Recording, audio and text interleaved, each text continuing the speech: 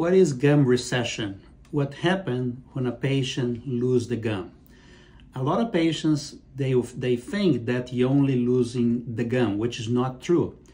When your gum recede, you're also gonna lose the bone. So initially, in a normal situation, your gum is in here and your bone is three millimeters on the top of that. When your gum recede, you're also gonna be losing the bone.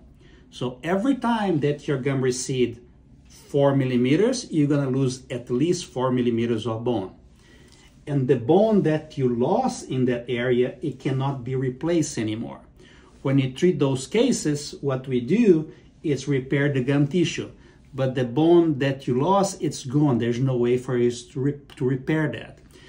So if you think you have a gum recession, come to the office. Let us evaluate your case.